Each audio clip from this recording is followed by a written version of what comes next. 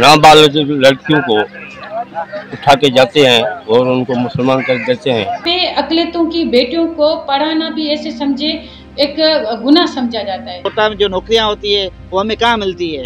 जो सहूलत है खासकर पानी की बिजली की और सेहत की वो बिल्कुल न होने के बराबर है।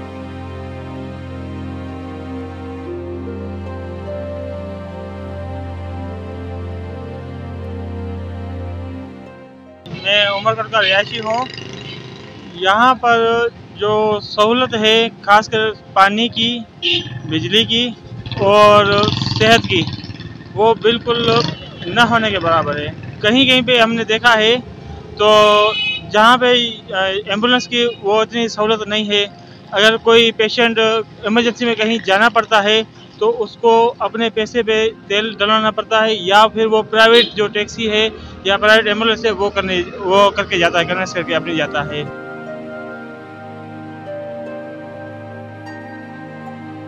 पे जो ताल्लुक है, वो अकलियत के है। अकलियत में भी हिंदू कम्युनिटी से ताल्लुक़ रखने वाले हैं। तो यहाँ पे जनरली पानी का भी बहुत इशू है, बहुत बुरान है। उसका टीडीएस जो है, वो टीडीएस बहुत रेज है, उससे के हवाले से बहुत सारी जो बीमारियाँ हो रही है। सर, हमारा, हम भील कम्युनिटी के बंदे हैं और हमारे पास इधर कोई जो सरकारी कानून के हिसाब से कोई हमारे पास सहूलत नहीं है। नहीं पानी की है, नहीं रास्ते की है, नहीं हम पानी जो पीते हैं, वो भी इसका, ये नलके का पानी कड़वा पीते हैं। गवर्नमेंट माना सस्ताण करण खपे तेल उतरे तो, तो शइ सस्ती नथी थिए त भले कमु कहिड़े माण्हू को बि जे लाइ किराया भाड़ा हर शइ महांगी लॻी पई आहे हाणे जे लाइ जेको सस्ताई त कोई को गवर्नमेंट करी माना।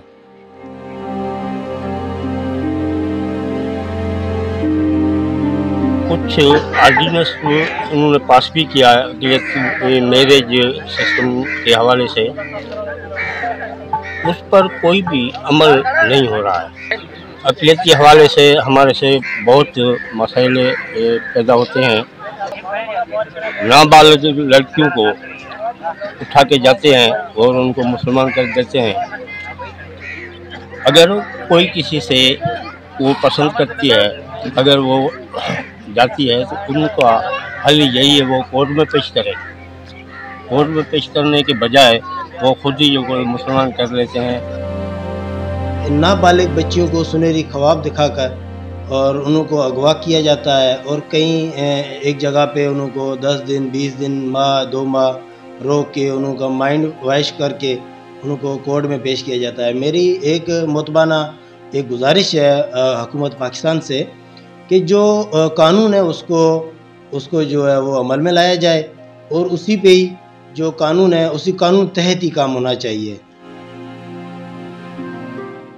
यहाँ पे अकलियतों की बेटियों को पढ़ाना भी ऐसे समझे, एक गुना समझा जाता है। अभी मैं रिसेंटली एक विज़िट पर गई थी तो वहाँ पर मैंने बोला कि आपकी बेटियाँ पढ़ती है। कहती है, नहीं नहीं नहीं नहीं भाई, पढ़ाना तो दूर की बात है। हमारी अकलियतों की जो लड़कियाँ हैं, हमारी जो लड़कियाँ हैं वो कचरा फेंकने भी बाहर नहीं जाती हैं। हम जब तक इसकी शादी नहीं करेंगे तब तक ये घर में रहेंगे।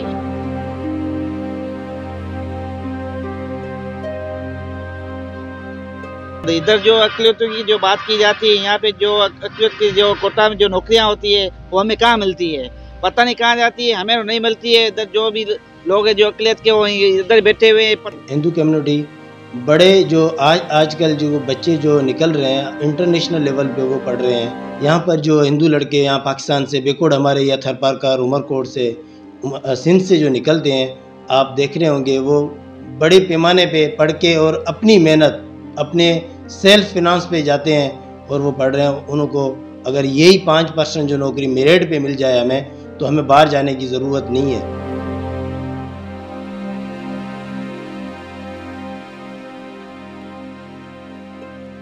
जो नुमाइंदे माइनॉरिटी के नाम पे जो सीटें लेकर बैठे हैं ना, वो अकलेतों को शेड्यूल कास्ट को इंसानी नहीं समझते हैं। वो कहते हैं, ये तो मखलूक ही नहीं है।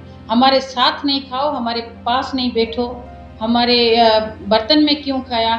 ये जब तक ये सिस्टम भी एक मेरे ख्याल से तो ये एक भयानक सिस्टम है इनका।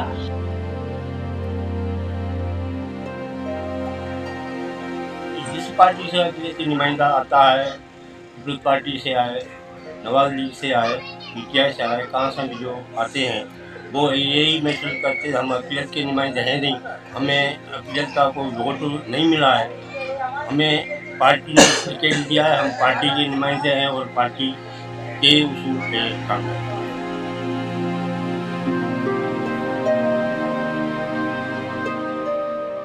तो हमारी ये रिक्वेस्ट है कि ये वोट लेके जाते हैं।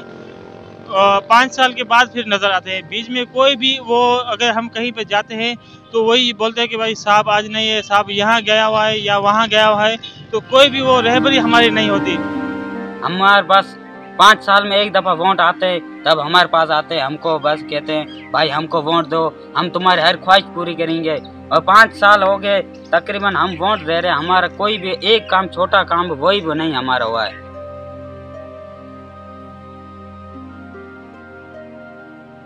तो यहाँ पर जो ज़बरदस्ती कन्वर्जन किया जाता है तो ये रोकना चाहिए। इसका बिल भी पास होना चाहिए।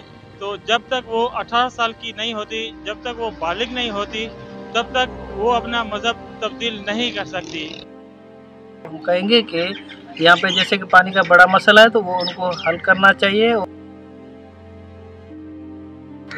इधर जाति लोग जो हैं उनको रोड का भी मसला है, उनकी सेफ्टी का भी मसला है। ये चीज़ें हैं जो हमारे पास है। उन पर अमल नहीं